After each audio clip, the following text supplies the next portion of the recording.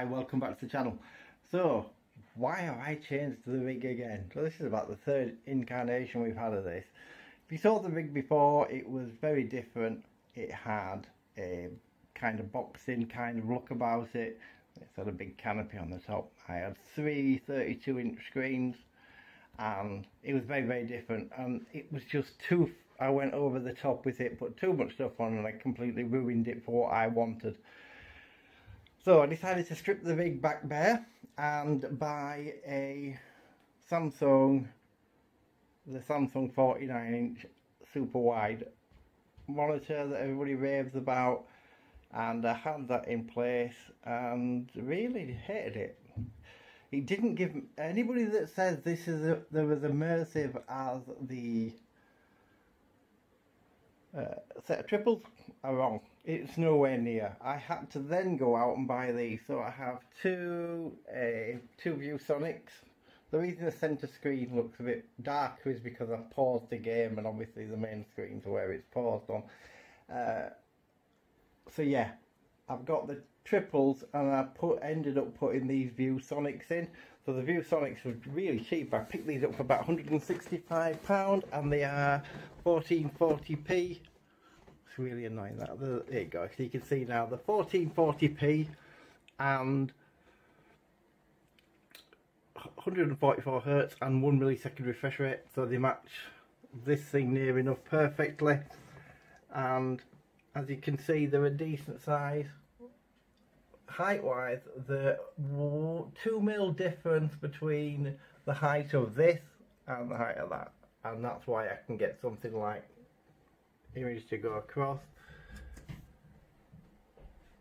But yeah really nice monitors and it just made everything feel a lot better for me in particular. I didn't like the screen on its own but I, I did like I do love the screen don't get me wrong but it didn't have Im enough immersion. Now it's absolutely awesome and better than it ever was before.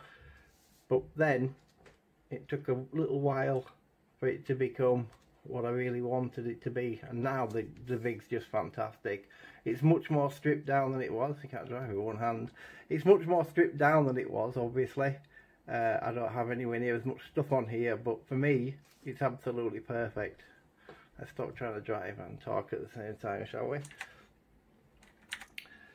so yeah, so this is a rig. So as you can see, we've got still got the same rig. It's still the same base equipment. Um, I think from the last time I had the rig, we've now got Heusinkveld Sprints, which I absolutely love. Massive difference between them and the Fanatec V3s. They just feel so much nicer. Everything else still the same. DDU, which I've already done a video on the 10.1 DDU, and I have that as my tyre monitor, so I have my tyre monitor separate now. That's my main screen and then I have these. Now these flags I'm going to do a video on separately. They're from the same people that make this screen. So I'll have a video on these things. These things are great. They come in about 100 pound I think they're 90, 90 pound for two for both of them. Uh, you don't need to buy two you can buy one obviously. But if you set two up obviously I've got an arrow on either side then I can tell easier what cars at the side of me. But like I say you don't need it. I have my stream deck there and then to the side of it I have my amp for the um, not the butt kicker for my haptic control. So they're the ones bolted under the seat and then that's my butt kicker. Here I have my main controls for ACC start etc and wipers lights and I have my bias set up on this as well. I have my pit um, limiter.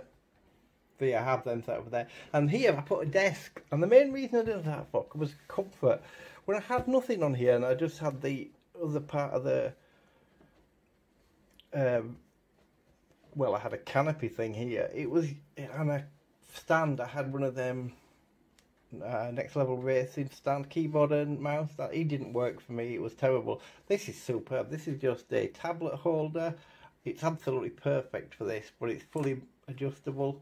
And then I have my mouse on here and also I have my F1 steering wheel here. I have a top screen but no longer working at the top screen. So I have a top screen but as you can see it's got my Sony Alpha camera connected to it and that's what I use for recording my videos on and the screen purely becomes a well the screen for the camera. Instead of having the little flip screen up I have this the camera connected to this monitor and the monitor works as my display so I can line up shots etc make sure everything's in focus and so forth. It's just so much easier to do that way.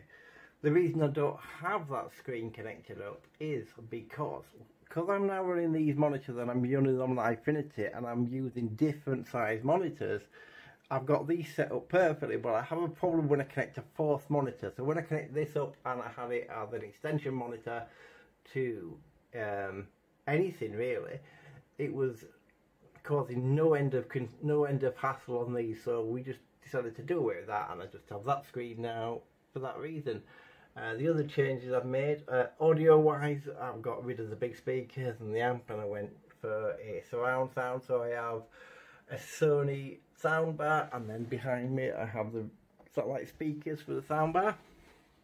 As you can see up on the ceiling I have my Quest 2 and that's purely used for just playing uh, Formula One at the minute because I'm really into it on the headset, and I also play uh, Automobilista 2 with that.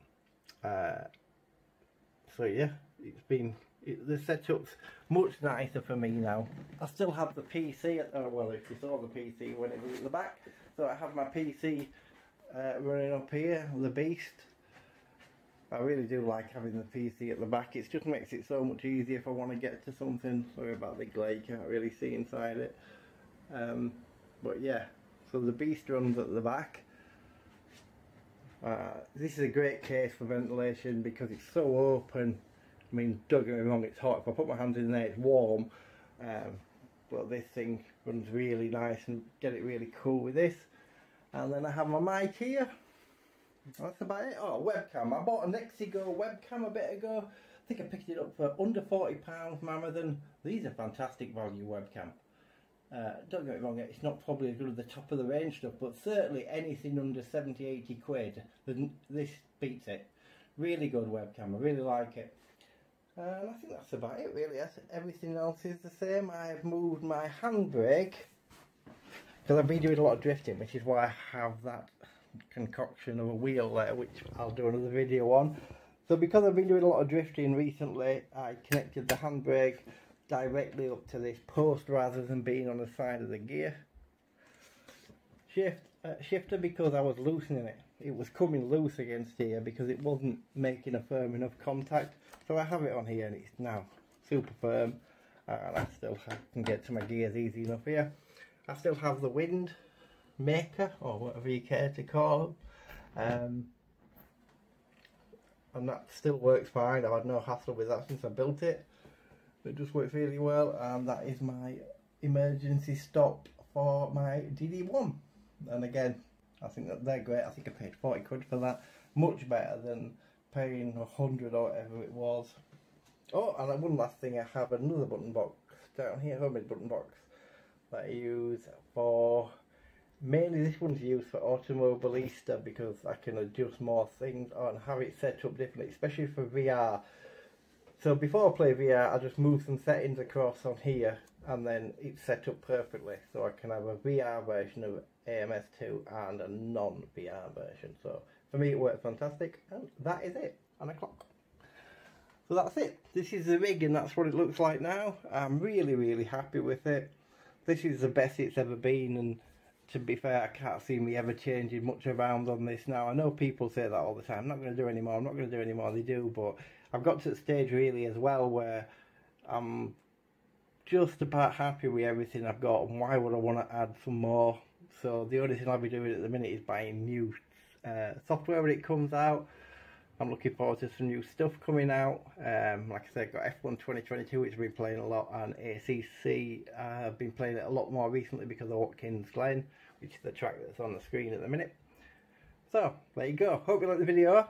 Uh, bit impromptu. It was just to show you the rig and have fun. If you are building your own rig, just remember just to do it the way you want to do it. Don't care what anybody else tells you about viewing angles on your monitor and anything. It's whether you like it. If it looks good to you, then it's good.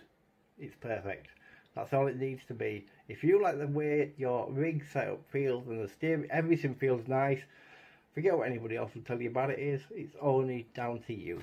So, thanks ever so much for watching. Have a fantastic day, and I shall catch you all soon. Bye bye.